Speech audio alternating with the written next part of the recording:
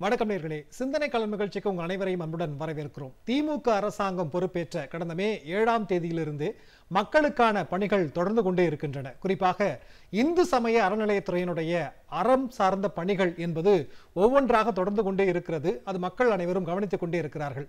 அதில் குறிப்பாக அனைத்து சாதியினரும் அர்ச்சகராகலாம் என்கிற ஒரு திட்டம். கிட்டத்தட்ட தமிழ்நாட்டில் ஐம்பது ஆண்டுகளாக இது பேசப்பட்டு வருகிறது. முத்தமிழறிஞர் கலைஞர் அவர்கள் ஆயிரத்தி தொள்ளாயிரத்தி எழுபதாம் ஆண்டு அதற்கான சட்டத்தை இயற்றியிருந்தாலும் கூட ஏகப்பட்ட தடைகள் இருந்து கொண்டே இருந்தன. இந்த நிலையில் இரண்டாயிரத்து பதினைந்தாம் ஆண்டு என்பது உச்சநீதிமன்றத்தினுடைய தீர்ப்பு வெளிவந்திருந்தாலும் கூட அதற்கு பிறகு மு க ஸ்டாலின் தலைமையிலான அரசு பொறுப்பேற்ற இந்த சூழலில் அந்த அரசு பயிற்சி பெற்ற அந்த நிறுவனத்திலிருந்து பயிற்சி பெற்றவர்கள் இருபத்தி நான்கு பேருக்கு பணி நியமன ஆணைகள் உட்பட இருநூற்றி எட்டு பேருக்கு இரண்டு நாட்களுக்கு முன்பாக அந்த பணி நியமன ஆணைகளை தன்னுடைய கரங்களங்களால் வழங்கினார் முதலமைச்சர் மு ஸ்டாலின் அவர்கள். அந்த வகையில் அனைத்து சாதியினரும் இன்றைக்கு தமிழ்நாட்டில் அர்ச்சகர் ஆகியிருக்கிறார்கள். ஐம்பது ஆண்டுகால போராட்டம் பயிற்சி முடித்தும் பதினைந்து ஆண்டு காலமாக சிரமப்பட்டிருந்தவர்கள் இன்றைக்கு மகிழ்ச்சியுடன் இருக்கிறார்கள். விரிவாக நாம் வாதிக்க கடைபெற்றிருக்கிறோம். இன்றைக்கு நம்முடைய நிகழ்ச்சியிலே முதுமுனைவர் சத்தியவேல் முருகனார். ஆகம அறிஞர் அவர்கள் கலந்து கொண்டிருக்கிறார்கள். அது மட்டுமல்லாமல் ஆன்மீக சொற்பொழிவாளரும் மருத்துவருமான திரு ராஜமூர்த்தி அவர்கள் இணைந்திருக்கிறார்கள். மற்றும் அரசு பயிற்சி பெற்ற அர்ச்சகர் சங்கத்தினுடைய தலைவர் ரங்கநாதன் அவர்கள் இணைந்திருக்கிறார்கள். மற்றும் அந்த இருநூற்றி எட்டு பேர் அன்றைக்கு பணி நியமன ஆணைகளை பெற்றார்கள். அந்த வகையில் பெண் ஓதுவராக பணி நியமனம் பெற்றிருக்கக்கூடிய சுகாஞ்சனா அவர்களும் இணைந்திருக்கிறார்கள். நான்கு பேரை வரவேற்று நாம் நிகழ்ச்சிக்குள் செல்லலாம். அனைவருக்கும் வணக்கம். நான் முதல்ல சத்தியவேல் முருகனார் ஐயா கிட்டேருந்து ஆரம்பிக்க விரும்புகிறேன் அனைத்து சாதியினரும் அர்ச்சகராகும் திட்டம் அப்படிங்கிறது தொடர்ந்து பல ஆண்டுகளாக தமிழ்நாட்டில் பேசப்பட்டு வந்த ஒன்று. இன்றைக்கு அது நிஜமாகி இருக்கிறது. உங்களுடைய முதற்கட்ட பார்வை என்ன சார்?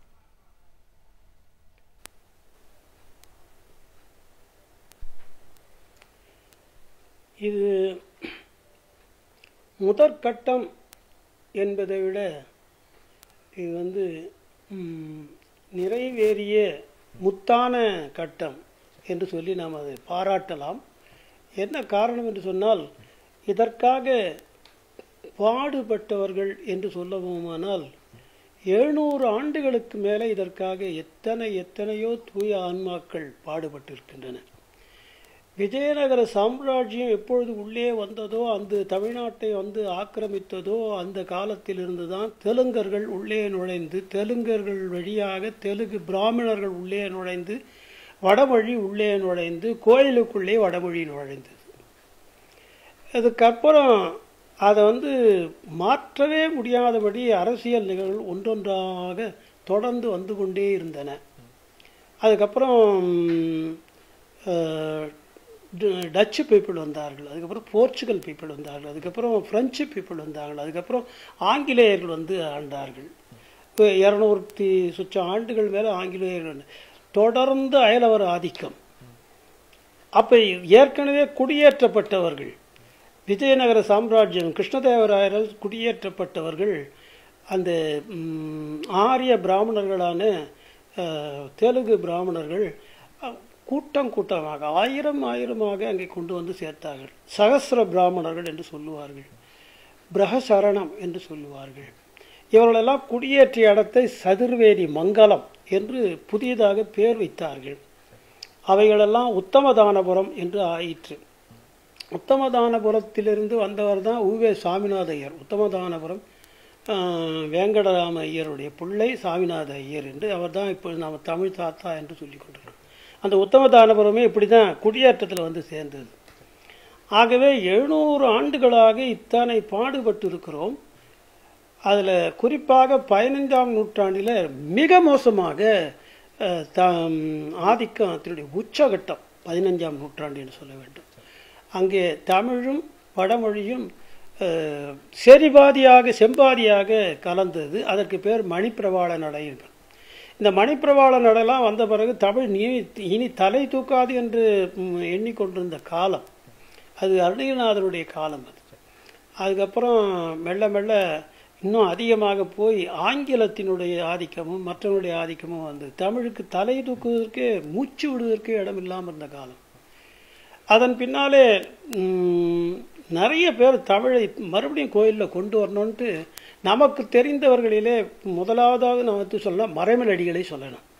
மறைமலை அடிகளுக்கு அப் அவரோட கூட பார்த்தீங்கன்னா அதுக்கப்புறம் நிறைய பேர் வந்துட்டாங்க. மறைமலை அடிகள் காசு பிள்ளை அவர்கள் திருவிக்கா அவர்கள் பூவை கல்யாண சுந்தரனார் அவர்கள் ஞானியார் சுவாமிகள் இப்படியெல்லாம் பலரும் அது ஒரு பெரிய பட்டாளமே நம்ம சொல்லலாம் பெரிய பட்டியலே இருக்கிறது அதெல்லாம் அவர்கள் எல்லாம் முயன்று முயன்று பார்த்து தோற்று போனார்கள். அது தோற்று போனார்கள் என்பது கொஞ்சம் க- சொல்லுவதற்கே கூட மனம் வருத்தப்படுகிறது. ஆனாலும் அவர்கள் முயற்சி செய்தார்கள் என்பது நமக்கு மிகப்பெரிய வித்திட்ட நிலையிலே அவர்களை பாராட்ட நாமெல்லாம் கடமைப்பட்டிருக்கிறோம். அதன் பின்னாலே வந்த பிறகு மறைமலடிகளுடைய அந்த வீரிய சொற்பொழிவை கேட்டு அண்ணா அவர்கள் வந்து திருவிக்கா மண்டபத்தில் பேசிய பேச்சு மறைமலடிகள் அதை கேட்டு அண்ணா அவர்களெல்லாம் நிச்சயமாக கோயிலுக்குள்ளே தமிழை கொண்டு வர வேண்டும் என்றெல்லாம் ஒரு இடத்துல பேசியிருக்கிறார்கள்.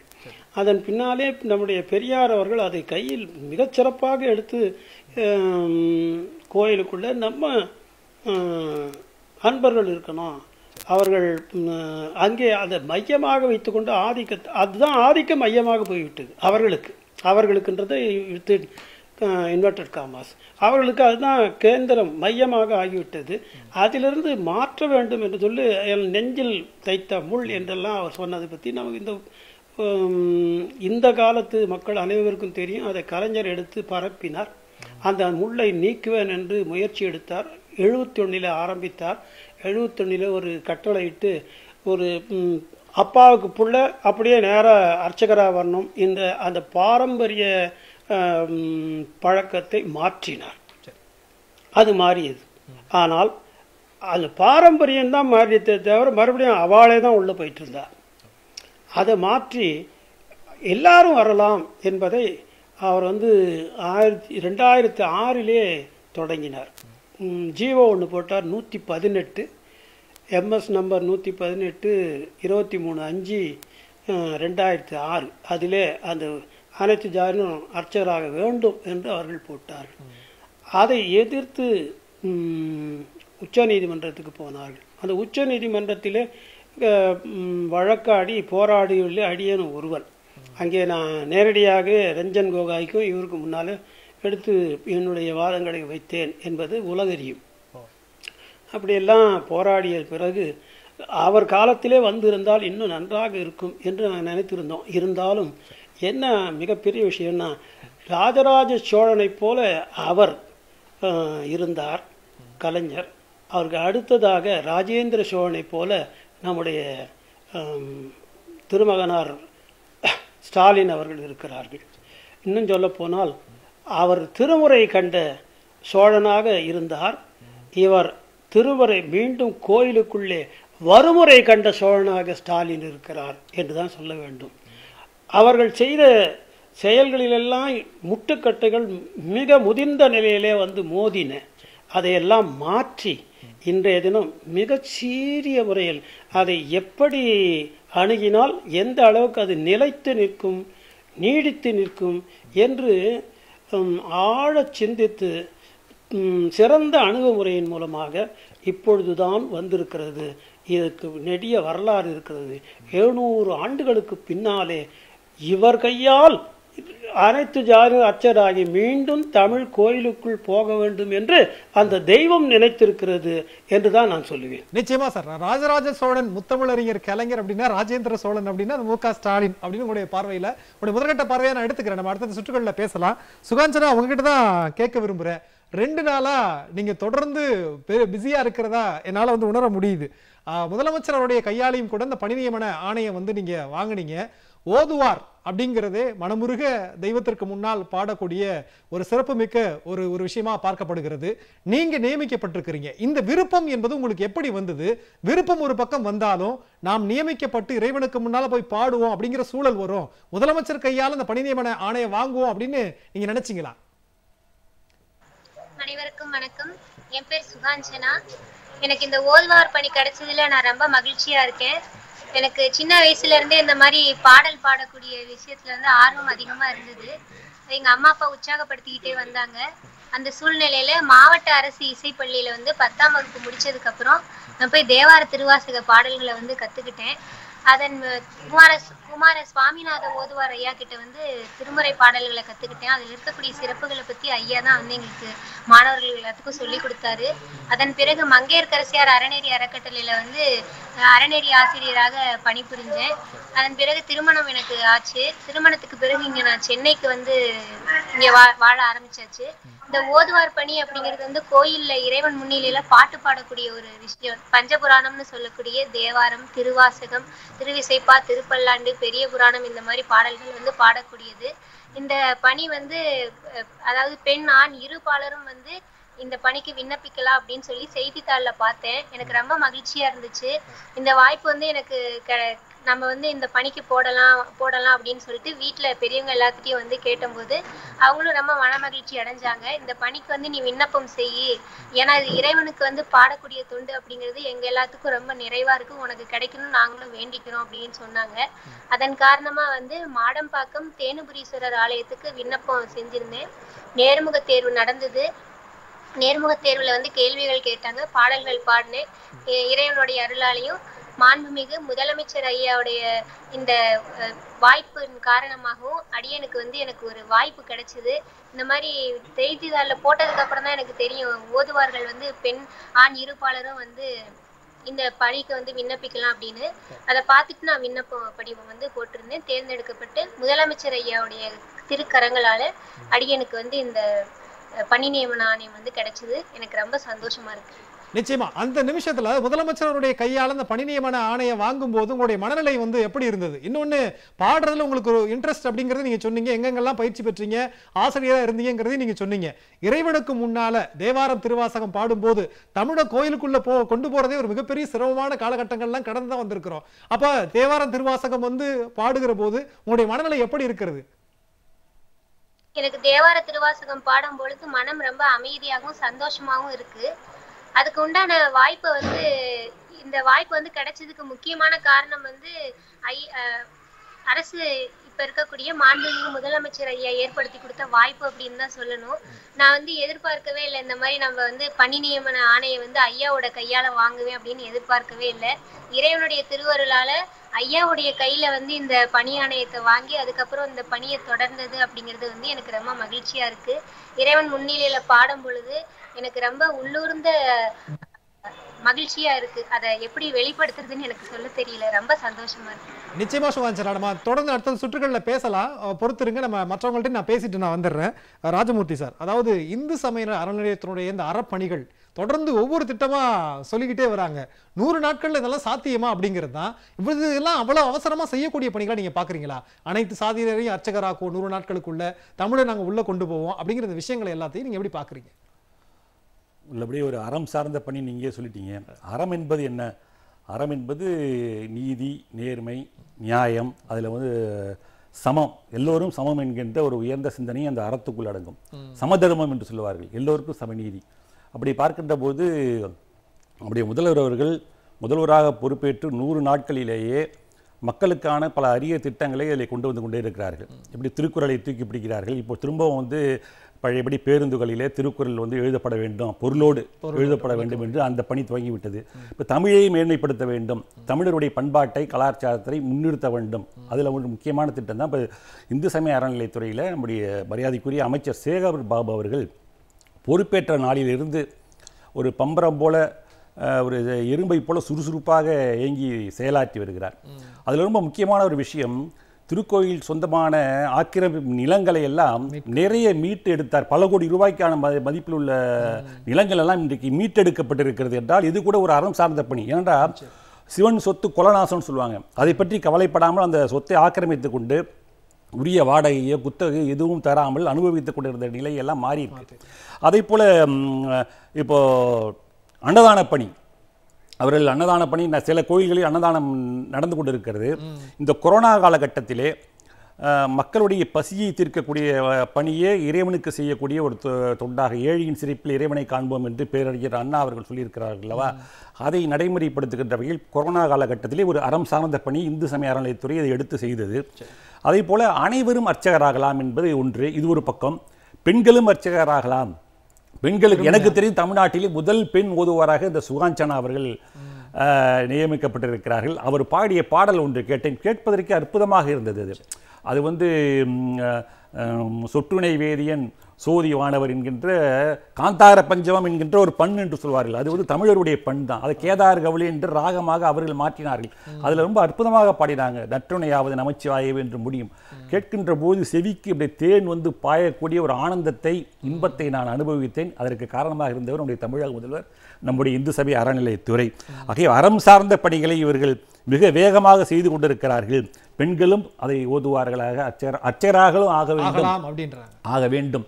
இப்படி பார்க்கின்ற போது இந்த சமநீதி சமத்துவம் தமிழ்நாட்டிலே எல்லா வகையிலும் நிலைநிறுத்தப்படும். முக்கியமாக கோயில்களுக்குள் கோயில் என்பது ஒருவருக்கு மட்டும் சொந்தமானது ஆண்டவன் என்பவன் ஒருவனுக்கு மட்டும் பக்கத்திலே அனுபவிக்கக்கூடியவர் அல்ல எல்லோரையும் சமமாக பார்ப்பவை. இறைவனுடைய சன்னிதானத்தில் அனைவரும் சமம்.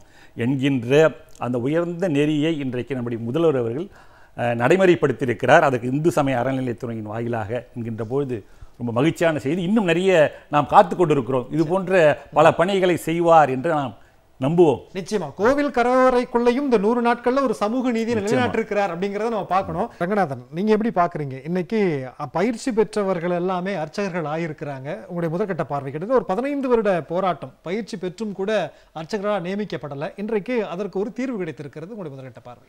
அனைவருக்கும் வணக்கங்க. அதாவது கோயில் கருவறையில் தமிழனும் தமிழும் கோயில் கருவறையில் ஏன் போக முடியாமல் ஏன் தடையாக இருந்தது? பதினஞ்சு வருஷமா? ஒரு கட்டத்தில் தந்தை பெரியாரிலேருந்து காலங்காலமாக நம்மளை வந்து கோயில் கருவறையில் தீண்டாமை நிலவப்பட்டது. கோயிலில் சாமியை தொட்டு பூஜை பண்ண முடியாது. நம்மளை சாதி இழிவுபடுத்திட்டு இருந்தாங்க. அந்த இழிவை தந்தை பெரியாரும் அண்ணாவும் அம்பேத்கரும் இது போன்ற நிறைய பேர் போராடிட்டு இருந்தாங்க. ஒரு கட்டத்தில் முத்தமிழ் அறிஞர் கலைஞர் வந்து சட்டம் இயற்றி அதில் பயிற்சி பெற்று பதினஞ்சு வருஷமாக முடித்து வேலை இல்லாமல் நடுத்தரில் நின்றுட்டு இருந்தோம். காலம் எங்கே கிடைக்குமா கிடைக்காதா ஒரு ஒரு நம்பிக்கை இல்லாமல் இருந்தோம். அந்த நம்பிக்கையை தமிழகத்தில் ஒரு சமூக நீதியை ஒரு நிலைநாட்டுவதற்கு கருவறையில் இருக்கிற தீண்டாமையை இருளை அகற்றிருக்கிறார் தமிழக முதல்வர். இது வந்து வரலாற்றில் மிகப்பெரிய விஷயங்க. இது ஆகஸ்ட் பதினான்கு என்பது வரலாற்றில் பொறிக்க வேண்டிய நாள். ஏன்னா இது ஒரு பெரிய விஷயமாக நம்ம கொண்டாடி இருக்கணும். எல்லா ஊடகங்களும் எல்லாருமே ஒரு தமிழக மக்கள் அனைவரும் கொண்டாடி இருக்கணும். ஏன்னா ஆகம கோயிலில் போட்டிருக்கிறாங்க. சாதாரண எல்லாமே கலந்து தான் போட்டாங்க மாணவர்களுக்கு. ஆனால் குறிப்பாக ஆகம கோயிலில் போட்டிருக்கிறாங்க. அந்த ஆகம கோயிலில் தான் இத்தனை வருஷமாக நம்ம போராடி இருக்கோம். உரிமையை நிலைநாட்டுவதற்கு இவ்வளோ போராடணும். அனைத்து சாதி அச்சர் பயிற்சி பெற்றவங்க பெரியார் வந்து என்ன சொன்னார்? பெரிய என்னுடைய நான் வந்து கடவுளை கும்பிட மாட்டேன். எனக்கு மதம் இந்து மதம் எனக்கு அவ்வளோ அப்படிலாம் சொல்கிறாரு எனக்கு வந்து அது பிடிக்காதுன்னு சொல்கிறாரு ஆனால் கோயில் கருவறையில் மற்ற சாதிக்காரன் போய் சாமி தொட்டு பூஜை பண்ணணும்னு அவர் கனவு. அவர் இறக்கும்போது கூட அவர் கனவாக இருந்தது. அப்போ தான் முத்தமிழர் கலைஞர் என்ன சொன்னார்னா நான் சட்டம் ஏற்றி அவங்கள அச்சராக்கி நியமிக்கிறேன் அப்படின்னு உறுதி கொடுத்தாரு. அந்த உறுதியை ரெண்டாயிரம் வருஷமாக நம்மளை காலங்காலமாக அடிமைப்படுத்தினது. இன்னைக்கு வந்து தந்தை பெரியாருடைய தனிமனிம மாண்பை மீட்டிருக்குன்னா அந்த தமிழக அரசு மிகப்பெரிய அளவில் பாராட்ட வேண்டியதுங்க. தமிழக முதல்வர் முத்தமிழர்களுடைய வாரிசு திராவிட முன்னேற்ற கழகத்தின் தளபதி மு க ஸ்டாலின் அவர்களும் மாண்புமிகு சேகர் பாபு அவர்களும் இந்து அறநிலைத்துறை அமைச்சர் அவர்களும் இந்து சமய அறநிலைத்துறை அதிகாரி அவர்களும் அனைவருக்கும் இது ஊழியர்களுக்கும் பொதுமக்களுக்கும் இது சப்போர்ட் பண்ண அனைவருக்கும் அர்ச்சகர் பயிற்சி பெற்ற மாணவர் சங்கம் சார்பாக வாழ்த்துக்களையும் வணங்கையும் சொல்றேங்க. நிச்சயமா, நீங்க கஷ்டமா எங்களுக்கு இருந்ததுங்க. நிச்சயமா நீங்க நன்றி சொல்லும் போது தெரியுது எந்த உணர்வு பெருக்கோட நீங்க பேசுறீங்க அப்படின்னு. இந்த பதினைந்து ஆண்டு காலம் இருக்கு இல்லையா? பயிற்சி பெற்றும் நியமனம் வாங்க முடியல அப்படிங்கிற அந்த கடுமையான காலகட்டங்கள் என்ன மாதிரியான சோதனைகள்லாம் சந்திச்சீங்க? சோதனைன்றது நாங்கள் படிக்கும் போதுலேருந்தே சோதனை தாங்க நாங்கள் படிக்க ஆரம்பிச்சதுலேருந்தே எனக்கு தடையாக தான் படித்தோம் அந்த அளவுக்கு கொடுமையாக இருந்தது. என்னென்னா தந்தை பெரியார் வந்து கருவறையில் அனைசாதி அச்சராலான்னு சொல்கிறாரு அது ஆயிரத்தி தொள்ளாயிரத்தி எழுபதில் வந்து கருவறை நுழைவு பட்டத்தை அறிவிக்கிறார். அதுக்கப்புறம் முத்தமிழ் கலைஞர் அவர் இல்லை நான் சட்டம் ஏற்றி எல்லா மாணவர்களையும் பயிற்சி கொடுத்து கருவறையில் கொண்டு போகிறேன்னு சொல்லி ஆயிரத்தி தொள்ளாயிரத்தி எழுபதில் ஒரு சட்டம் ஏற்றாரு அந்த சட்டத்தை ஸ்டே வாங்குறாங்க. அதில் வாரிசு உரிமைப்படி அர்ச்சகர்கள் இருக்கக்கூடாதுன்னு சொல்லி அது நடக்குது. அதுக்கு அடுத்த கட்டமாக ரெண்டாயிரத்தி ஆறில் முத்தமிழ் கலைஞர் அவர்கள் சட்டம் ஏற்றுறாங்க ஏற்றி அதில் வந்து அனைசாதி அர்ச்சகர் ஆகலாம்னு சொல்லி சொல்கிறாங்க அதுக்கப்புறம் ரெண்டாயிரத்தி ஏழில் பேப்பரில் விளம்பரம் வருது விளம்பரம் வரும்போது மாணவர்கள் என் நான் என்னை பொறுத்த வரைக்கும் எங்களுடைய கூட இருந்த அனைத்து மாணவர்களுமே diploma D P computer science இந்த மாதிரி நிறைய படிப்புகள் எல்லா படிப்புலையும் பாதியில் விட்டு வந்து படித்தாங்க ஏன்னா எல்லாருமே கடவுள் நம்பிக்கை உள்ளவங்க பக்தி உள்ளவங்க. ஏன்னா கடவுளை தொட்டு பூஜை பண்ண மாட்டோமா அப்படின்னு ஒரு ஏக்கம் இருந்தது. எல்லாருமே பூஜை பண்ணிட்டு இருந்தாங்க. எல்லாருமே வந்து அவங்க கிராமப்புற கோயில்களில் சாதாரணமாக பூஜை பண்ணுவாங்க இல்லைங்களா? அந்த மாதிரி பூஜை பண்ணிட்டு இருந்தாங்க. அவங்க எல்லாருமே வந்து இதில் வந்து படிக்கிறதுக்கு வேலைவாய்ப்பு விண்ண- விண்ணப்பம் பண்ணுவோம் நானே ஆச்சரியப்பட்டேன். சரி அப்போ பரவாயில்ல நம்ம உள்ளே போய் ப- சாமியை தொட்டு பூஜை பண்ணலாம்ல இது அப்படின்னு ஒரு நம்பிக்கை வந்தது. அந்த நம்பிக்கையில் தான் நாங்கள் போய் அப்ளை பண்ணோம். அப்ளை பண்ணி இன்டர்வியூ இது பண்ணோம். இன்டர்வியூவில் வந்து மூணு நாள் நடந்துச்சு அதில் தொள்ளாயிரம் பேர் வந்தாங்க. அதில் இடஒதுக்கீடு அடிப்படையில் செலக்ட் பண்ணாங்க. அதில் வந்து தமிழ்நாட்டில் ஆறு பயிற்சினங்கள் திருவண்ணாமலை திருச்செந்தூர் பழனி மதுரை ஸ்ரீரங்கம் திருவல்லிக்கேணி. சைவ வைணவ பயிற்சினங்கள் நடைபெற்றது. அதில் மொத்தம் இரநூத்தி நாற்பது மேலே ஒரு சென்டருக்கு நாற்பது பேர் நியமிச்சாங்க. எங்களுக்கு வந்து படிக்கிறதுக்கு பாடத்திட்டங்கள் என்னன்னா தமிழ் முறைப்படி தேவாரம் திருவாசகம் திருமந்திரம் போன்ற மந்திரங்களும் அதுக்கான சிவன் அம்பாள் அதுக்கான மந்திரங்களும் அதே போல் ஒரு தெய்வங்களுக்கு அர்ச்சனை எப்படி பண்ணுறது தீபாரதனை எப்படி பண்ணுறது சங்கல்பம் எப்படி பிரசாதம் எப்படி எப்படி படைக்க படைக்கிறது. அதே போல் அஷ்டோத்திரம் மற்ற எல்லாமே சமஸ்கிருத முறைப்படி தமிழ் முறைப்படி ஜோதிடம் எப்படி பார்க்கறது செய்முறை ஒரு பூஜை முறைகளை எப்படி பண்றது அலங்காரம் எப்படி பண்றது இதெல்லாமே எங்களுக்கு சொல்லி கொடுத்தாங்க. இந்த சொல்லி கொடுத்து இதெல்லாம் படிச்சிருக்கிறோங்க. ஆனால் படிக்கும்போது என்னன்னா எங்களுக்கு சொல்லி கொடுக்குறது வாத்தியார் வேணும் நான் இப்போ உதாரணமாக சொல்கிறது திருவண்ணாமலையில். எங்களுக்கு தமிழ் முறைப்படி ஒரு பேராசிரியர் சுக்கப்பன் சொல்லி ஒரு தமிழ் ஆசிரியர் வந்தாருங்க. அவரை மிரட்டினாங்க. ஆனால் அவர் உறுதியாக இருந்தார். இன்னொருத்தர் ஆகம சொல்லி கொடுக்கறதுக்கு வாத்தியார்கள் வேணும். அப்போ வாத்தியார்கள் இல்லை. அப்புறம் என்னன்னா தமிழ்நாடு பிராமண சங்கம் அந்தன ஆஹ், தமிழ்நாடு அந்தனல் சங்கம் தென்னிந்திய கோயில் பிராமண சங்கம் இந்த மாதிரி நிறைய பிராமண சங்கங்கள் அந்த அனைத்து சாதி அட்சய பயிற்சி பெற்ற மாணவர்களுக்கு சொல்லிக் கொடுக்கூடாதுன்னு சொல்லி தீர்மானம் பண்ணதா சொல்லிட்டு இருந்தாங்க. அந்த காட்ட அப்போ அப்புறம் என்னன்னா யாருமே வரல. அப்புறம் ஒரு கட்டத்தில் எங்களுக்கு தெரிஞ்ச என்ன கூட படித்த மாணவர்களுடைய ஃப்ரெண்டு வந்து ராசிபுரத்தில் இருக்காங்க. அவருடைய அவருடைய ஃப்ரெண்டு வந்து பெங்களூரில் பிராமண அர்ச்சகராக இருக்கிறாரு. வயசு வந்து தொண்ணூறு ஆகுதுங்க அவர் பேர் ராமகிருஷ்ண ஜீவான்னு சொல்லிட்டு. அவரை கன்வின்ஸ் பண்ணி கூப்பிட்டு வந்து எங்களுக்கு சொல்லிக் கொடுக்க வச்சோம். அவர் வந்து நாங்கள் சொல்லிக் கொடுக்குறோமான்ட்டு சொல்லிக் கொடுத்தாரு. சொல்லிக் கொடுக்கும்போது எங்களுக்கு வந்து என்னன்னா ஒரு ஒரு மாதம் டெய்லி காபி சாப்பிட வெளில போவார். ஒரு மாதம் கழிச்சு திருவண்ணாமலை இருக்கிற பிராமணர்கள் ஆளை வச்சு அவர் அடிச்சிட்டாங்க. அந்த அந்த டிவிலாம் நீங்கள் பார்த்துருப்பீங்க கேஸ் நடந்துச்சு. அது பெரிய லெவலில் இஷ்யூ ஆச்சு அது. சரி. ஆனால் எங்களுக்கு வாத்தியார் சொல்லி கொடுக்க கூட எதிர்ப்பு காட்டி அந்த அளவுக்கு பிரச்சனையாச்சு. அதே மாதிரி எங்களுக்கு வந்து பூஜை முறைகள் கத்துக்கிறதுக்கு சிலைகள் வேண்டும். அரசு ஏற்பாடு பண்ணுறாங்க ஆனால் அங்கே இருக்கிற பிராமணர்கள் தடுத்து எங்களுக்கு சிலையை கொடுக்கல. நாங்களே சிலையை செஞ்சு பூஜை பண்ண கற்றுக்கிட்டோம் இது போல எல்லா பாடசாலையிலும் சாப்பாடு சரியில்லாமல் பண்ணுறது கோயிலில் போய் சாமி தரிசனம் பண்ணால் கிண்டல் பண்ணுறது கேலி பண்ணுறது அசிங்கப்படுத்துறது காலை எட்டி ஒதுக்கிறது பச்சை பச்சை திட்டுறது. இது மாதிரி கேவலமாலாம் நடந்திருக்கிறாங்க.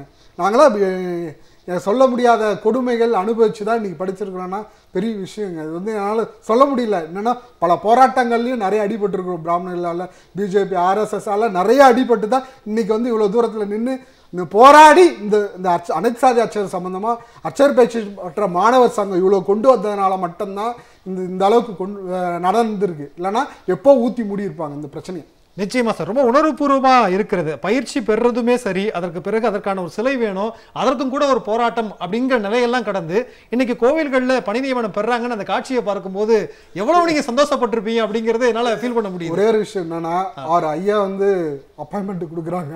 அப்போ கொடுக்கும்போது அழுதுட்டேன் அவ்வளோ போராட்டம் உயிருக்கு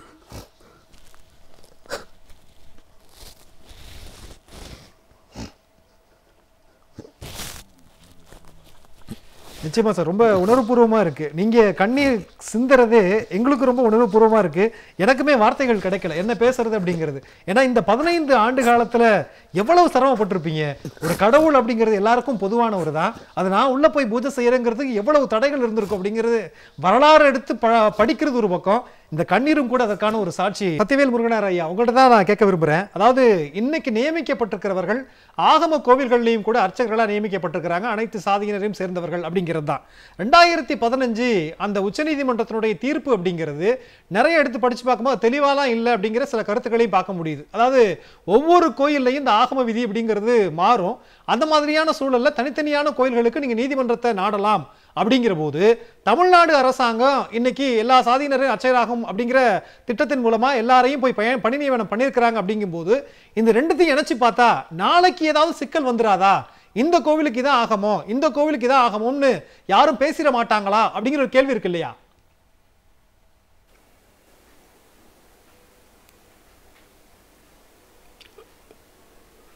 சரி. நான் அதுக்கு பதிலை சொல்லுகிறேன். சொல்லலாமா? சொல்லலாம் சொல்லலாம் சார். இதற்கான பதிலை நான் இப்போது சொல்லுகிறேன்? சொல்லுங்க. அதா ஆ. அதாவது மிகப்பெரிய ஒரு சிந்தனை களத்தில் சிந்தனை செய்ய வேண்டியதை சிந்தனை செய்திருக்கிறீர்கள். இந்த முக்கியமான கருத்தை பல பேரும் நழுவ விட்டு விடுகிறார்கள். அதை நீங்கள் வந்து தூக்கி நிறுத்தி காட்டியிருக்கிறீர்கள் சமூகத்துக்கு. உண்மையிலே நீங்கள் பாராட்டுக்குரியவர். என்னவென்றால் உச்ச நீதிமன்றத்திலே சொல்லப்பட்ட தீர்ப்பு தெளிவில்லாமல் இருந்தது என்று நீங்கள் சொல்லுவதிலே எனக்கு கொஞ்சம் மாறுபாடு இருக்கிறது. என்ன காரணம்னா அதிலே தெளிவாகத்தான் சொல்லியிருக்கிறார்கள். அதில் சொன்னது அத்தனையும் உண்மையினுடைய அடிப்படையிலே எடுத்து சொல்லப்பட்டது. உண்மையிலேயே எது ஆகம கோயில் எது ஆகம முறையிலே கட்டப்பட அந்த முறையிலே இல்லாமல் கட்டப்பட்ட கோயில். என்று இதுவரையில் நாற்பத்தி நாலாயிரத்தி நானூற்றி இருபத்தோரு கோயில்கள் இந்து அறநிலைத்துறையினுடைய கட்டு கட்டுப்பாட்டில் இருக்குது என்று சொன்னால் எத்தனை கோயில்கள் ஆகமப்படி அமைக்கப்பட்ட கோயில்கள் எத்தனை பிற என்பது பற்றியான ஒரு டேட்டா இன்றைக்கு வரைக்கும் இல்லை. இன்னைக்கு வரைக்கும் இல்லை. இந்த மாதிரி எது ஆகமம் உடையது எது ஆகமம் இல்லாதது என்று தெரியாத போது நீதிபதி எப்படி அதில் வந்து நுழைவார்? எந்த ஆகமம் எனக்கு என்ன தெரியும்? நீங்கள் பார்த்துங்கன்ட்டார். எந்த ஆகம்னா அங்கங்கே எந்தெந்த கோயிலுக்கு என்னென்ன ஆகமோ அதை வச்சு நீங்கள் பார்த்துங்கன்ட்டார். அதில் தவறே இருக்கு இல்லையா? அவர் என்ன ஆகமப்படி இல்லாத ஒரு நீங்கள் பாட்டு எல்லாரையும் போடலாம்னு சொல்ல முடியாது. ஒரு நீதிபதி அப்படி சொல்லவே முடியாது. ஏன்னா கோயில்கள் அத்தனையும் ஆகமத்தால் கட்டப்பட்டவை. இல்லை என்று சொன்னால் ஆகமத்தால் கட்டப்படாவிட்டாலும் ஆகமத்தால் வழிபாடுகள் செய்யப்படுவை ஆகவே ஆகமம் இல்லாமல் நீங்கள் பாட்டு யாரை வேணா போட்டிருக்கன்னு சொல்ல முடியாது. ஒரு நீதிபதி அந்த மாதிரி சொல்ல முடியாது. ஆகவே அவங்க சரியாக தான் சொல்லியிருக்காங்க. இதில் என்ன விஷயம் என்று சொன்னால் நான் ஒரு வழக்கில் என்னை ஈடுபடுத்தினார்கள். அந்த வழக்கில் நீங்கள் வந்து இனிமே எல்லாருக்கும் இந்த மாதிரிலாம் வழிபாடுகளை பத்ததிகளை எல்லாம் சொல்லித்தரக்கூடாது அதே மாதிரி பயிற்சி வகுப்புகள் நடத்தக்கூடாது. நீங்களேவும் இப்போ நான் ஏறத்தாழ இதுவரையில் ஆயிரத்தி அறுநூற்றி எழுபது குடமுழுக்கள் செய்தது. ரங்கநாதனுக்கு நல்லா தெரியும். ரங்கநாதன் என்னுடைய மாணவர் தான். அந்த ஆயிரத்தி அறுநூத்தி எழுபது குடமுழுக்குகள் செய்திருக்கோம் அதே மாதிரி ஆறாயிரத்தி எழுநூற்றி எழுபதுக்கு மேல் திருமுறை ம- திருமணங்களை உள்நாட்டிலும் வெளிநாட்டிலும் செய்திருக்கிறோம். இப்போ இத்தனையும் நாம் செய்து எல்லாருக்கும் கொண்டு வந்து சொல்லும் பொழுது நான் எனக்கு இதெல்லாம் நீங்கள் பண்ணக்கூடாதுன்னு எதிராக எனக்கு வழக்கிட்டார்கள். அந்த வழக்கிலே நான் போட்டிருந்த அந்த சான்றாவணத்தில் அது வழக்காவணத்தில் என்ன சொல்லியிருந்தேன்னா ஆகமப்படி அமைந்த கோயில்களிலே ஆகமப்படித்தான் செய்ய வேண்டும். ஆகமப்படி அமையாத கோயில்களிலே திருமுறை வழியே செய்து கொள்ளலாம்ட்டு தருமபுர ஆதீனத்தினுடைய இதில் நடந்த ஒரு இதில் ஒரு கூட்டத்தில் எல்லாருமா சேர்ந்து கையெழுத்து போட்டாங்க. பத்தொன்பது ஆதீனங்கள் அதில் கையெழுத்து போட்டாங்க.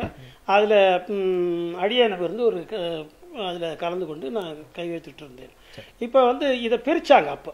ஆகமப்படி அமைந்த கோயில்கள் ஆகமப்படி அமையாத கோயில்கள் என்று பிரித்தார்கள்.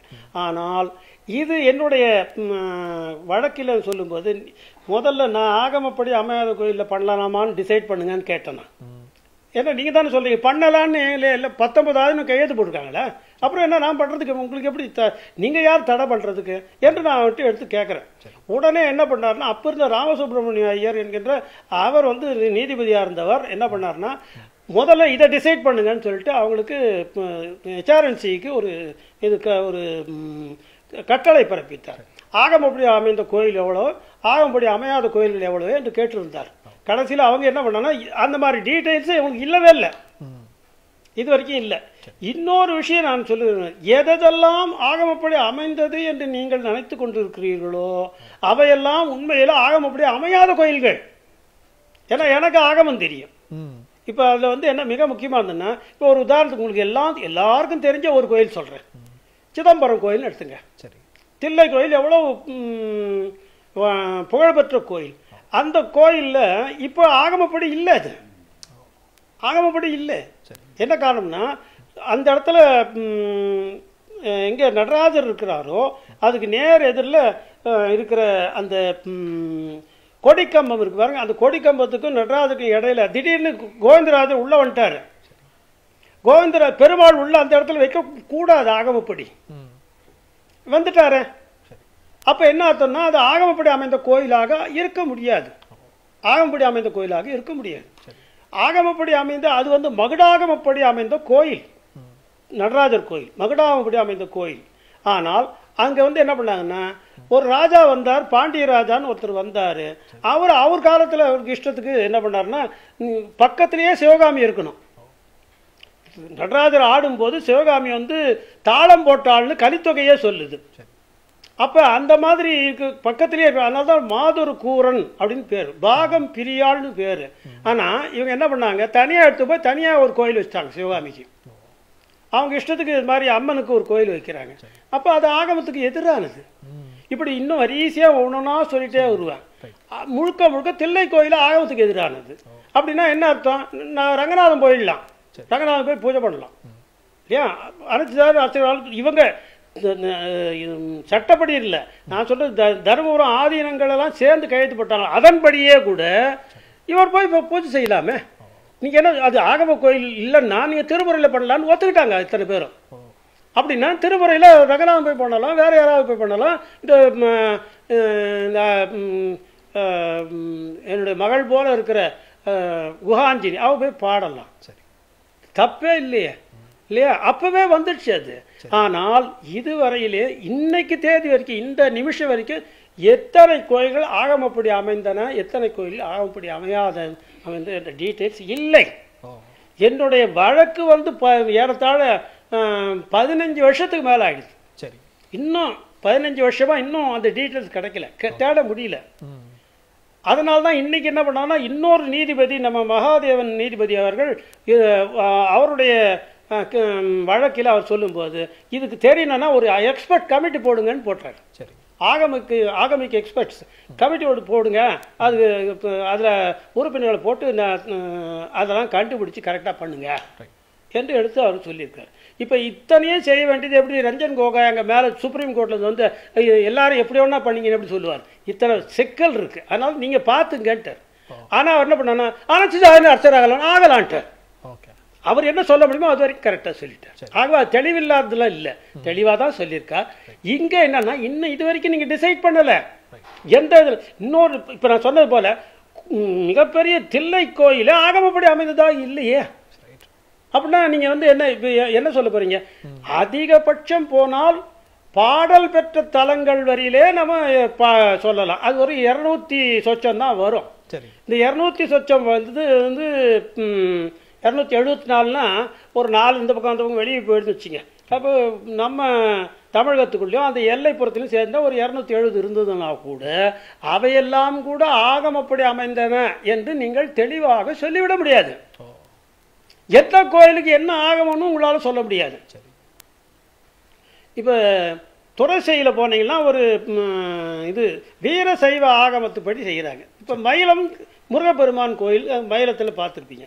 அது வீர சைவம். அது வீராகமப்படி வருது. ரைட் இந்த மாதிரி வீராகமத்துக்குன்னு இருக்கிற கோயில்கள் வந்து ஒரு பத்து பதினஞ்சு இருக்கு.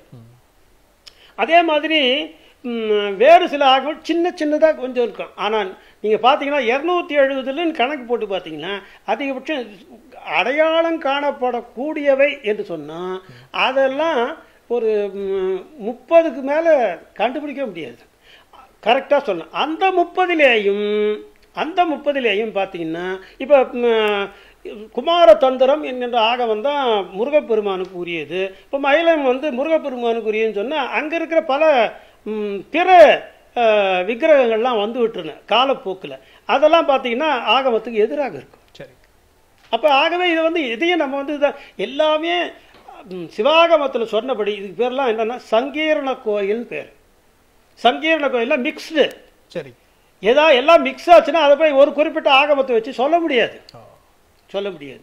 ஆகவே இத்தனை சிக்கல்கள் இருக்கின்றன அது இன்னும் தீர்க்கப்பட வேண்டிய இன்னைக்கு நாம் உண்மையிலே பெரிய விடுதலை நாள் தமிழர்களுடைய விடுதலை நாள் என்று நம்ம சொல்லணும் இல்லையா?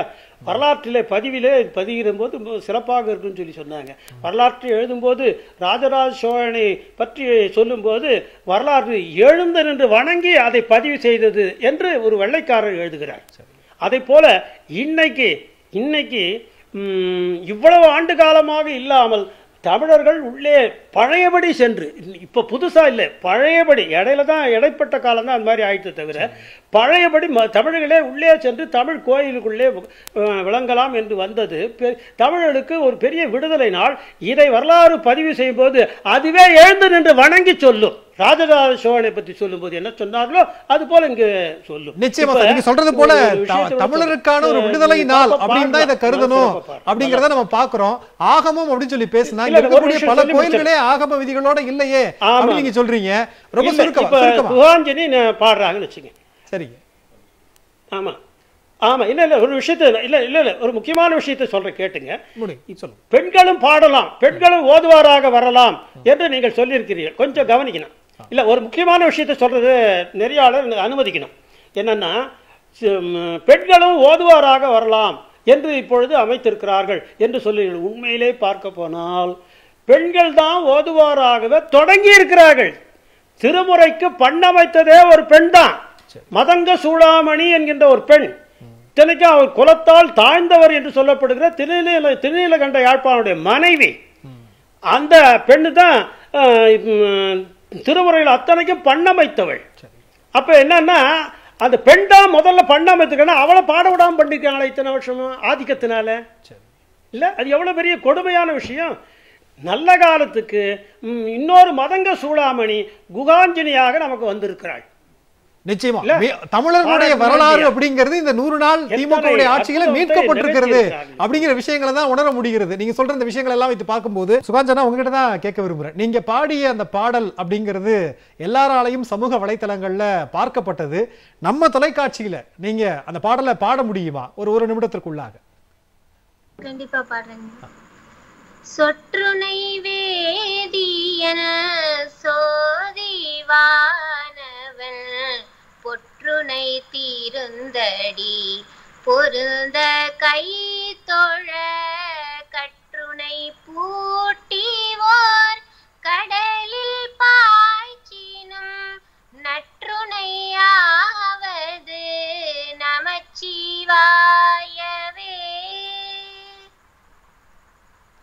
ரொம்ப மகிழ்ச்சிங்க. நீங்கள் பாடுறது ரொம்ப ரொம்ப மகிழ்ச்சி. இறைவனுக்கு முன்னால் பாடக்கூடிய பாடல் நம்முடைய ச- செய்திகள் தொலைக்காட்சியில் நீங்கள் பாடுறது ரொம்ப ரொம்ப மகிழ்ச்சி. இன்றைக்கு நீங்கள் ஓதுவாராக இருக்கிறீங்க. அதாவது பெண்கள் விரும்பினால் அர்ச்சகராகவும் ஆகலாம் அப்படின்னு இந்து சமய அறநிலையத்துறை அமைச்சர் சொல்கிறார் நீங்கள் இன்னைக்கு ஓதுவாராக இருக்கிறீங்க. உங்களை முதற்கொண்டு உங்களை வந்து மையமாக வச்சு இன்னும் பெண்கள் என்ன மாதிரியான விஷயங்களுக்கெல்லாம் வரணும் முன்னே நோக்கி வரணும்னு நீங்கள் நினைக்கிறீங்க. நிறைவான பார்வையை நான் எடுத்துக்கிறேன். மாண்புமிகு முதல்வ முதலமைச்சர் ஐயா வந்து இது மாதிரி நிறைய நலத்திட்டங்களை வந்து கொண்டு வராங்க. அதுல இருந்து இந்த ஓதுவார் பணி அப்படிங்கிறது வந்து இறைவன் முன்னிலையில இருந்து பாடல் பாடக்கூடிய ஒரு விஷயமா இருக்கு. அது எனக்கு ரொம்ப சந்தோஷமா இருக்கு. அதாவது அங்கேற்கண்ணி அம்மா அப்படிங்கிறவங்க வந்து கலைஞர் ஐயா காலத்துல வந்து முதல் பெண் ஓதுவாரா இருக்கிறாங்க அப்படிங்கிற சில குறிப்புகள் கேள்விப்பட்டேன். அதன் பிறகு பல ஆண்டுகளுக்கு பிறகு இப்ப அஹ், ஐயாவுடைய ஆட்சியில இப்படி ஒரு ஓதுவார் பெண் பெண் ஓதுவார் அப்படிங்கிற ஒரு பணி கிடைச்சது நான் ரொம்ப மகிழ்ச்சியா நினைக்கிறேன். அதே போல நிறைய பேர் இந்த இந்த ஓதுவார் பணிக்குண்டான பயிற்சிகளை வந்து முறையா எடுத்து அதுக்குண்டான பயிற்சிகளை அவங்க செய்யணும். பெண்கள் இன்னும் அனைத்து துறைகள்லயும் வந்து அவங்களால முடிந்த சாதனைகளை செய்யணும். அதுக்கு உண்டான தன்னம்பி தன்னம்பிக்கையையும் உற்சாகத்தையும் நம்மளுடைய அரசு வந்து கொடுக்கும் அப்படின்னு வந்து நான் நம்புறேன். அதுக்கு உண்டான வாய்ப்புகளையும் ஏற்படுத்தி கொடுப்பாங்க அப்படின்னு நான் நம்புறேன். அதுக்கு உண்டான வாய்ப்புகளையும் வந்து கொடுக்கணும்னு அரசுகிட்ட வந்து வேண்டிக்கிறேங்க ஐயா. நிச்சயமா சுகாஞ்சனா உங்களுடைய நம்பிக்கை வீண் போகாத திமுகவுடைய அரசாங்கத்துல ராஜமூர்த்தி சார் அதாவது தமிழ்ல அர்ச்சனையை பத்தி நீங்க முதல் சுற்று பார்வையிலேயே சொன்னீங்க. அப்போ சமஸ்கிருதம் தேவ பாஷை அப்படின்னு சொல்றாங்களே அதுதான் தெய்வங்களுக்கான ஒரு மொழி அப்படின்னு அப்ப அந்த இடத்துல நீங்க ஒரு செக் வைக்கிறதா இல்லையா? தமிழை உள்ள கொண்டு போனதுனால. சமஸ்கிருதம் தேவபாஷைன்னு யார் சொல்கிறது தமிழர்கள் சொல்கிறது இல்லை சமஸ்கிருதம் தேவபாஷை தமிழ் வந்து நீஷ பாஷைன்னு சொன்னாக்கா கடவுளே நம்மளன்னு அர்த்தம் பிராமணர்கள். ஏனென்று கேட்டால் இப்போ நீங்கள் அற்புதமாக பாடல் பாடினாங்க. தேவாரத்துலேருந்து பாடினாங்க. தேவாரத்தில் நாவுக்கரசர் என்ன சொல்றாரு? சலம் பூவோடு தூபம் மறந்தறியன் தமிழோடு இசைப்பாடல் மறந்தறியன் சொல்றாரு. அற்புதமான வரிகள். ஏழாம் திருமுறையாக இருக்கக்கூடிய அந்த திருமுறை திருப்பாட்டின் பேர் சுந்தரர் அதில் சொல்லுவார் அர்ச்சனை பாட்டையாகும் அதனால் சொற்றமிழால் என்னை பாடுக அப்படின்னு சொல்றார் தமிழால் என்னை பாடுகன்னு சுந்தரர் சொல்றாரு இந்த பஞ்சபுராணம் அவங்க சொன்னாங்களா அதில் ஒன்று திருவாசகம் அந்த திருவாசகத்தை மாணிக்க வாசகர் எழுத சிற்றம்பலத்தான் எழுதி சொல்ல இவர் சொல்ல இவர் சொல்ல அவர் எழுதினாராம் எழுதி கை சாத்திக்கிட்டது கை கை கை கையெழுத்து போட்டாராம் யாரு சிவனே சிவபெருமானே அப்படி சொல்லுகின்ற போது அப்படிப்பட்ட அதாவது அதில் ஒரு அருமையான வரி எனக்கு ரொம்ப கவர்ந்த வரி. மண்ணாலும் மன்னவருக்கு மாண்பாகி நின்றானை தன்னார் தமிழழிக்கும் தன்பாண்டி நாட்டானைமே தன்னார் தமிழளிக்கும் தன்பாண்டி நாட்டானை என்ன அருமையான வார்த்தை. அந்த தமிழை அளித்தவன் யார்? இறைவன். அப்போ போது எப்படி வந்து இது ஒரு அந்நிய பாஷையாக இருக்க முடியும்? இன்னும் சொல்ல போனால் உலகலாம் உணர்ந்து ஓதற்கரியவன் நிலவுலாகிய நீர்மலி வேலியன்.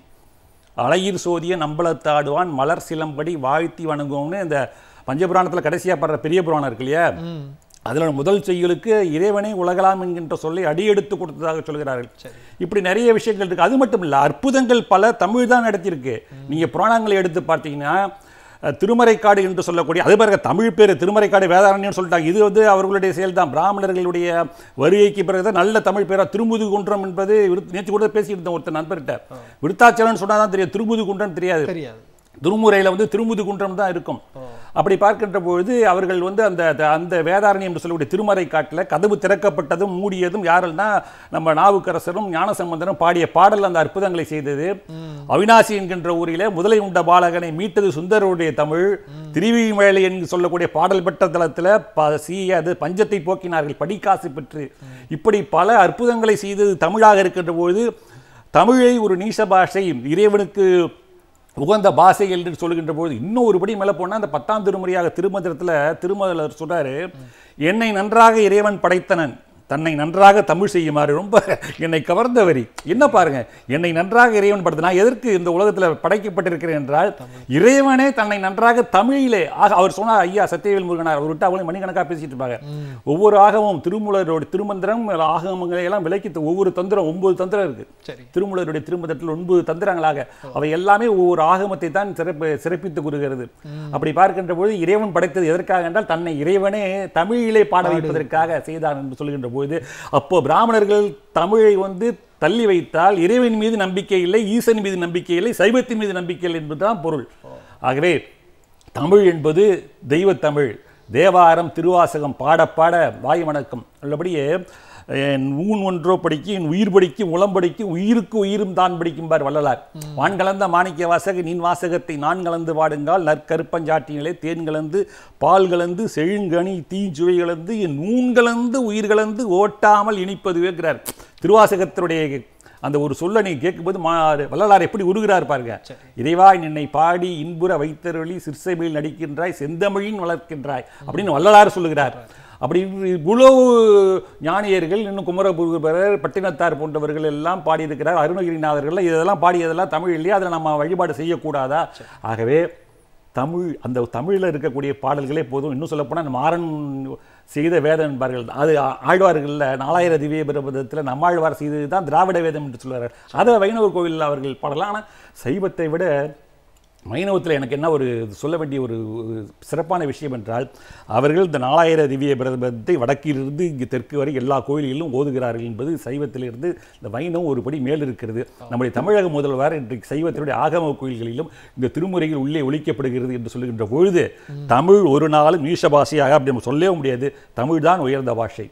என்றால் தொன்மையிலே தமிழ் வந்து எந்த விதத்திலும் சமஸ்கிருதத்தோடு குறைந்தது கிடையாது. கல் தோன்றி மண் தோன்ற காலத்தை வாளோடு முன் தோன்றி மூத்த குடி நம்முடைய மொழி. திங்களோடு செழும்பருதி இதனோடு விண்ணோடும் உடுக்களோடும் மங்கு கடல் இவற்றோடும் பிறந்த தமிழோடு நாம் பிறந்தோம். ஆண்மை சிங்கத்தின் அடையாளம் என்று சிறியோருக்கு ஞாபகம் செய்ய ஊது சங்கேடு என்று சொன்னான் பாரதிதாசன். அப்படிப்பட்ட அடையாளத்தோடு இருக்கக்கூடிய நாம் தெய்வ தமிழையும் வளர்ப்போம். பக்தி இலக்கியத்தையும் வளர்ப்போம். சமய இலக்கியத்தையும் வளர்ப்போம். அதற்கு தமிழ் நமக்கு உறுதியாக இருக்க வேண்டும். நாமும் தமிழுக்கு உறுதுணையாக இருப்போம் என்று நான் சொல்ல ஆசைப்படுகிறேன். நிச்சயமா நிச்சயமா. ரங்கநாதன் சார் அதாவது இப்போ உங்களோட பயிற்சி பெற்றவங்க எல்லாருமே இன்றைக்கு அர்ச்சகர்களா நியமிக்கப்பட்டிருக்கும் போது அவங்களுடைய கருத்து என்னவாக இருக்கிறது? இன்னும் அரசாங்கம் இதெல்லாம் செய்யணும் அப்படின்னு நீங்க என்ன எதிர்பார்க்குறீங்க? அதாவது மாணவர்கள் இன்னைக்கு வந்து அர்ச்சகரா மொத்தம் இருபத்தி நான்கு மாணவர்கள் வந்து பூஜை பண்ணியிருக்கிறாங்க. பெரிய கோயில்களையும் ஆகம கோயில்களையும் மீடியமான எல்லா கோயில்களையும் பண்ணிட்டு இருக்கிறாங்க பக்தர்கள் வந்து நல்லா வரவேற்பு கொடுத்துருக்குறாங்க. நிறைய கோயில்களில் உதாரணமாக சொல்ல போனால் திருச்சியில் நான் நாக இது வயலூர் முருகன் கோயில் நாக நான் இன்னும் சில கோயில்கள்லாம் இருக்குது எல்லா கோயில்கள்லையுமே வந்து நம்ம பக்தர்கள் எல்லாருமே அனுபவிச்சிருக்கிறாங்க ஒரு நல்ல வாழ்த்துக்கள் சொல்லியிருக்கிறாங்க. நிறைய பேர் வந்து இதை வந்து கண்டிப்பாக கொண்டு வரணும். இன்னும் ஆயிரக்கணக்கான மாணவர்களை உருவாக்கணும்னு சொல்லி சொல்லியிருக்கிறாங்க. தமிழ் முறைப்படியும் சமஸ்கிருத முறைப்படியும் இரண்டு முறைப்படியும் அர்ச்சனை செஞ்சுருக்கிறாங்க. நல்ல வரவேற்பு இருக்குங்க. ஆனால் இந்த வரவேற்பை பொறுத்த வரைக்கும் எவ்வளோ எதிர்ப்பை தாண்டி வந்திருக்கிறோம் அப்படின்னா பல த தடைகள். பிஜேபி ஆர்எஸ்எஸ்ல இந்து முன்னணியில் நான் வந்து பெரியார் சிலைக்கு மாலை போட்டேங்க.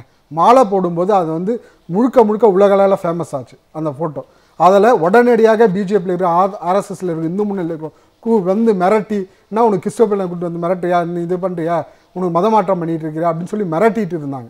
அந்த மிரட்டலை தாண்டி நம்ம வந்து அது பிரச்சனையாக கொண்டு போயிட்டு இருக்கும்போது ஒரு கட்டத்தில் என்னை அடிச்சு கி- நெரிச்சு கீழே விழுந்து அரெஸ்ட் ஆகி இன்றைக்கி வரைக்கும் மிரட்டலோட தான் இருக்குது. அந்த மிரட்டலும் அதனுடைய எதிர்ப்பும் தாண்டி இவ்வளோ தூரம் வந்திருக்குன்னா ஐயாவுடைய முதல்வர் கொடுத்துருக்கிறான பெரிய விஷயங்க.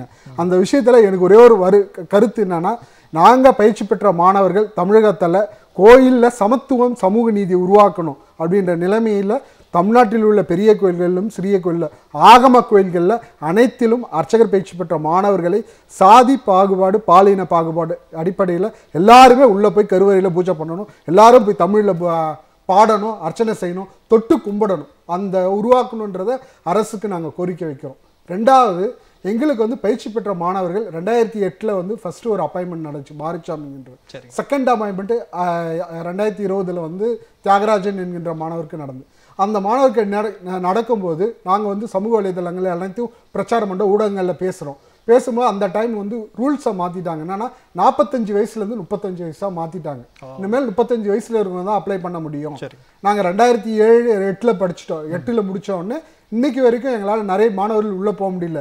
இல்லைன்னா இந்த வேலைவாய்ப்பு இல்ல- விளம்பரத்தில் அப்ளை பண்ணாலும் நிறைய மாணவர்கள் உள்ளே போயிருக்க முடியும். ஏன்னா இப்போ ரூல்ஸை மாற்றினால யாருமே எதுவும் செய்யணும் கொஞ்சம் பேர் தான் உள்ளே போயிருக்கிறாங்க. அதனால தமிழக அரசுக்கு எங்கள் பயிற்சி பெற்ற மாணவர்கள் சம் சார்பாக இந்த ரூல்ஸை வந்து ரிலாக்ஸேஷன் தரணும் அப்படின்ற கோரிக்கை வச்சிருந்தோம். அரசு செய்கிற நம்பிக்கை கொடுத்துருக்குறாங்க. கண்டிப்பாக செய்வாங்கன்ற எதிர்பார்ப்போடு இருக்கிறோம். அதே போல் பயிற்சி நிலையங்கள் தமிழ்நாட்டில் உள்ள பெரிய எல்லா கோயில்களிலும் எல்லா மாவட்டங்களிலும் ஆயிரக்கணக்கான மாணவர்களை உருவாக்கி ஒரு சமூக நீதியை ஒரு புரட்சியை உருவாக்கணுன்றதை கோரிக்கை வைக்கிறோம். இன்னும் ஒரே ஒரு கோரிக்கை என்னன்னா நாங்கள் பயிற்சி பெற்ற மாணவர்கள் மொத்தம் இரநூத்தி ஏழு பேர்ல ரெண்டு பேருக்கு ஏற்கனவே ஆகமம் இல்லாத கோயிலில் போட்டிருக்காங்க இப்போ ஆகம கோயில்களில் போட்டிருக்காங்க. இன்னும் இல்லாமல் அஞ்சு பேர் வந்து இறந்துட்டாங்க. அந்த குடும்பத்திற்கு ஏதாவது அரசு ஏதாவது செய்யணுன்ற நிதி உதவியோ இல்லைன்னா வந்து அவங்க குடும்பத்திற்கு ஒருத்தருக்கு அரசு வேலை தரணுன்ற கோரிக்கை வைக்கிறோம். மீதி இரநூத்தி இரநூறு மாணவர்களுக்கு பணி நியமனம் செய்கின்ற கோரிக்கையை வச்சிருக்கிறோம் நிச்சயமா. ராஜமூர்த்தி சார் உங்களுடைய நிறைவான பார்வை. அதாவது இந்துக்களுக்கு எதிரான கட்சின்னு திரும்ப திரும்ப திமுகவை சொல்லி ஒரு அடையாளப்படுத்தக்கூடிய முயற்சியில் எல்லாரும் ஈடுபடுவாங்க. அந்த கட்சிக்கு இந்த இது இவ்வளவு பேரை எல்லாரையும் அர்ச்சகராக்கி உள்ள கொண்டு போகணும்னு ஏன் முனைப்போட இருக்கிறாங்க? இந்து சமய அறநிலையத்தில் ஏன் இவ்வளவு விஷயங்கள் செய்றாங்க? அப்படிங்கிற ஒரு கேள்வி இருக்கு இல்லையா? உண்மைதான். உள்ளபடி மனிதனுக்கு செய்யக்கூடிய சேவை வந்து உள்ள கடவுளுக்கு செய்யக்கூடிய சேவை. அது பெரியார் சொன்னது கொஞ்சம் வந்து அது நாத்திய கருத்து மாதிரி தெரியும். ஆனால் அது உள்ள ஒரு ஆன்மீக கருத்து இருக்கு. கடவுளையும் மற மனிதனை நினைவினார் இங்கே பல பேர் மனிதனை மறந்து விட்டு கடவுளை நினைத்து கொண்டு வந்தப்ப அவர் தான் அதனால தான் அவர் ஆயிரத்தி தொள்ளாயிரத்தி எழுபதுல அது மன்னார்குடி ராஜகோபால சுவாமி கோவிலில் போய் கருவறை நுழைவு போராட்டம் நடத்துவனார். அது எப்படின்னா ஜனவரி இருபத்தி ஆறு ஆயிரத்தி தொள்ளாயிரத்தி எழுபது அது பாருங்க அது குடியரசு நாள். நினைக்கிறேன் அன்னைக்கு குடியரசு நாள் தானே. ஆனா வந்து நம்ம விடுதலை நாள் விழாவில் தலைவர் முதல்வர் வந்து இன்றைக்கு அந்த சட்டத்தை அனுமதி அனுமதி பண்ணியிருக்காருன்னா திராவிட முன்னேற்ற கழகத்தை தவிர வேறு எந்த கட்சியும் இதை முன்னெடுத்து செய்ய முடியாது. ஏனென்றால் இது வந்து ஒரு முதுகெலும்பு உள்ள ஒரு அரசு. இது அடிமை அரசு அல்ல. இது வந்து ஒரு மதவாத சக்திக்கு உடன்படக்கூடிய ஒரு அரசு அல்ல இது.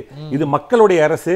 அதுவும் தமிழர்களை மேம்படுத்தக்கூடிய தமிழ் மொழிக்கு முக்கியத்துவம் கொடுக்கக்கூடிய ஒரு அரசு. அதனால் தான் நம்முடைய முதல்வர் அவர்கள் ஆட்சிக்கு வந்ததும் என்னென்ன தமிழுக்காக நான் செய்ய முடியுமோ தமிழருடைய பண்பாடுகள்லாம் காக்கப்பட வேண்டுமோ அதை கையில் எடுக்கிற மாதிரி தான் பெரியாருடைய முள்ளியத்தை த- நெஞ்சிலே தைக்கப்பட்ட ஒரு முள் என்று சொன்னார்கள். எடுக்கவே முடியவில்லை என்று சொன்னார்கள். ஆனால் இன்றைக்கு வைகோ உட்பட பல தலைவர்கள் சொல்கிறார்கள். நேற்று ஃபேஸ்புக் பார்த்தா முழுவதும் எல்லாம் நம்முடைய முதல்வரை வாழ்த்தி தான். பெரியாருடைய நெஞ்சில் இருந்த முள் இன்றைக்கு அகப்பட் அகற்றப்பட்டிருக்கிறது. ஐம்பத்தோரு ஆண்டுகளுக்கு பிறகு என்று சொல் சொல்லுகின்ற பொழுது நம்முடைய முதல்வர் அவர்கள் செய்திருக்கக்கூடிய இந்த காரியம் ரொம்ப மகத்தான ஒரு நற்செயல். இது வரலாற்றிலே இது மத உலகம் சைவ உலகம் சமய உலகம் எதுவாக இருந்தாலும் சரி மொழி உலகிலும் சரி அரசியல் உலகிலும் பொண்ணு எழுத்துக்களால் பொறிக்கப்பட வேண்டிய ஒரு சம்பவமாக இருக்கிறது. இல்லபடியே ராஜராஜ சோழன் போல கரியாரன் சோழன் போல நம்முடைய முதல்வர் புகழ் நீடித்திருக்கு என்பதிலே எந்த விதம் ஐயம் நிச்சயமா. சத்தியவேல் முருகனார் சார் உங்ககிட்ட ரொம்ப சுருக்கமா நேரம் இல்லை ஒரே நிமிடத்திற்குள் நிறைவான பதில் எதிர்பார்க்கிறேன். முதல்ல நீங்க பேசும்போது சொன்னீங்க ஓதுவார்கள் பெண்ணாக ஏற்கனவே இருந்திருந்தாங்க இடையில அதெல்லாம் காணாம போச்சு திரும்ப இன்றைக்கு மீட்டெடுத்திருக்கிறோம் அப்படிங்கிறது தான். அப்போ பெண்கள் விரும்பினால் அர்ச்சகர் ஆகலாம் அப்படிங்கிற ஒரு விஷயத்தையும் கொண்டு வராங்க இந்து சமய அறநிலையத்துறை. இது பற்றி உங்களுடைய பார்வை நிறைவான பார்வை எடுத்துக்கிறேன் ரொம்ப சுருக்கமா ப்ளீஸ் இல்லை பெண்கள் இல்லை பெண்கள் விரும்பினால் அர்ச்சகர் ஆகலாம் என்று சொல்லுவது என்பது நாம் என்ன சொல்லணும்னா ஏற்கனவே இப்போ அடியேன் பயிற்சி கொடுத்தவர்கள் பெண்கள் ஏறத்தாழ நூற்றி முப்பத்தாறு பேர் நூற்றி முப்பத்தாறு பெண்களுக்கு பயிற்சி கொடுத்துருக்கேன். நூற்றி நான் எஸ்ஆர்எம் பல்கலைக்கழகத்தில் அர்ச்சகர் பயிற்சிக்காக டிப்ளமா கோர்ஸ் நடத்திட்டு இருக்கேன். அதில் நூற்றி முப்பத்தாறு பேர் பெண்களுக்கு ஏற்கனவே அவங்க பயிற்சி பெற்று ரெடியாக இருக்காங்க. அவர்களையெல்லாம் இப்பொழுது விண்ணப்பிக்க செய்திருக்கோம். இப்போ இந்த இதில். அதில் கூட ரெண்டு பேர் உள்ள பணியாணை கொடுக்கறதுக்கு இப்போ ப ஏற்பாடு நடந்து கொண்டு இருக்கிறது பெண்கள் அர்ச்சகர் ஆகுதுன்னு பெரிய இடர்பாடு இருப்பதற்கு சட்ட ரீதியாகவும் சாத்திர ரீதியாகவும் எந்த விதமான இடர்பாடும் இருப்பதற்கு வாய்ப்பே இல்லை. ஏன்னா ஒரு ஒரு பெண்ணே திருப்பனந்தாளில் அவ நேரடியாக பூஜை செய்திருக்காள் அதனால் அதுக்கு தாடகை ஈஸ்வரம்னு பேர். அந்த தாடகை என்கிற பெண் பூஜை செய்திருக்காள் சிவாச்சாரியோட மகள். அவ அவங்க அப்பா வெளியே போன போது அவ போய் பூஜை பண்ணியிருக்கா. அது அந்த பூஜையை வந்து என்ன பண்ணான்னா அந்த எட்டலை இந்த லிங்கம் எட்டலை உடனே என்ன பண்ணான்னா சிவபெருமான் அந்த லிங்க தலை வளைத்து அந்த பெண்பால் செய்த பூஜையை வாங்கி கொண்டது என்று சிவ பதிவு இருக்கிறது சம்பந்தர் பாடி இருக்கிறார் அது. தாடக ஈஸ்வர பதிகமே இருக்கிறது. ஆக பெண்கள் ஏ இதெல்லாம் ஏற்கனவே நடந்ததுங்க. ஏன் காணாம போச்சுன்னா ஆதிக்க சக்திகள் காணாம அடிச்சன. இந்த நிச்சயமா சார் இப்ப அந்த அந்த ஆதிக்க தூக்கி சக்திகளுக்கெல்லாம் ஒரு முற்றுப்புள்ளி வந்திருக்கிறது அப்படிங்கறத கண்கூடா பாக்குறோம் நிறைய சான்றுகளை நாள் என்று சொல்லி நான் அமைகிறேன். நிச்சயமா சார் நிறைய சான்றுகளை உங்களால கொடுக்க முடியும். அதற்கு நேரம் தான் எங்களால இப்ப கொடுக்க முடியல. நிகழ்ச்சியில கலந்து கொண்டு அத்தனை சிறப்பு விருந்தினர்களுக்கும் நன்றி. நேரில் மீண்டும் ஒரு நிகழ்ச்சியில் சந்திக்கலாம். நன்றி வணக்கம்.